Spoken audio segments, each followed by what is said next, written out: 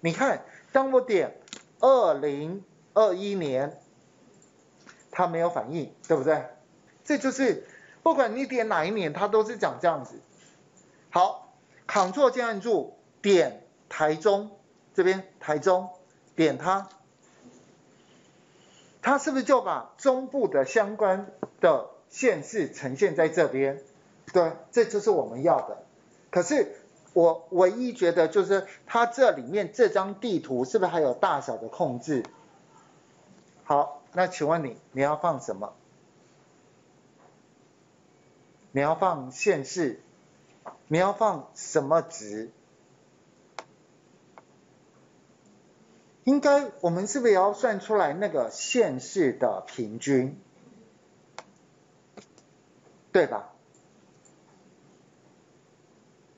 请问一下，我这大小，我我放全国，我放那个年，呃，这个叫做什么？一市机构还是院所指标值？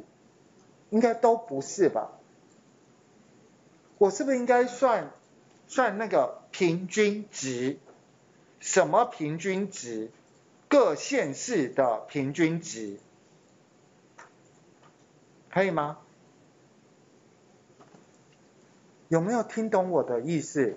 我们早上有用过区域的平均值，像这一张这一张图，是不是用所属分区事务指标值的平均？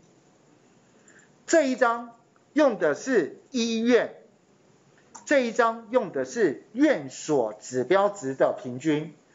这一张用的是全国指标值的平均，可是，请问你这一张，我们是不是应该用县市的指标平均值？可以吗？好，那请问你他要怎么做？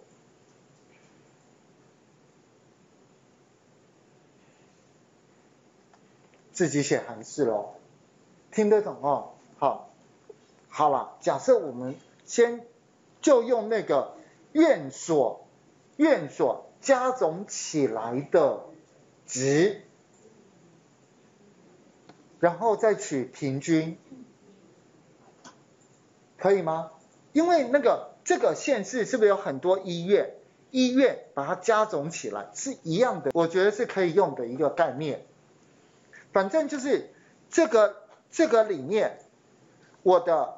大小，我会希望它能够呈现各个县市是不一样的大小，所以我就要把这个县市里面的医院这些值加总起来，再除以有几个医院。好，来麻烦请把院所这个这张图哦，地图院所指标值拖移到大小。然后麻烦请改成平均。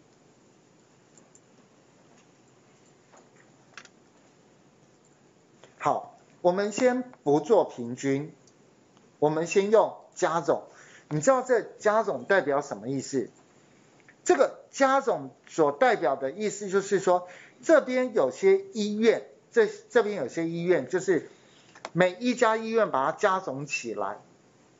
好。可是这样子的一个加总值，我觉得不太适合，不太适合，会它会随着你知道台北所有的大型医院，百分之好像八十都在台北市跟新北市，对不对？所以基本上这样的算法是不对的，所以要把它这个院所的指标值改成平均。好了。就是为了让你们去观看，所以你看一下哦，在这个地方，在这个地方，这边这个基隆市，基隆市有看到？好，它这边还蛮大的，甚至还比什么台北市来的大，新北市呃桃园市更大。好，可是这边有看到吗？嘉义，嘉义县，嘉义市。其实蛮大的，好，我们来看二零二一年，请点二零二一年，有看到吗？二零二一年，如果以县市地区来去看，是这个地区，这个叫做连江县的，这个是什么？这个应该是马祖，是不是？对哦，连江那个澎湖我知道在这边了，澎湖，好，可以吗？然后接下来接下来，那假设我我今天我只关心我们这个这个地区啊，所以 Ctrl 键点选中区业务组。所以我们这样一看，就说，哎，嘉义不大，嘉义不大。我最欣赏的一个那个呃卫生局局长就在彰化县，你们应该知道这是谁了哦。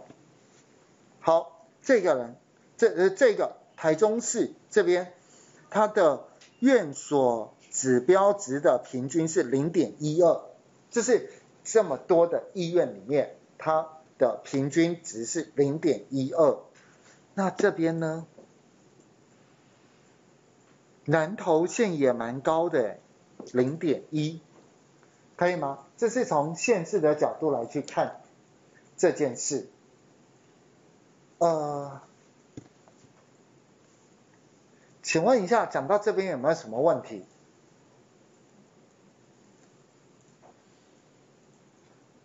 可以哦，针对他的那个成效分析，应该可以了解到这边。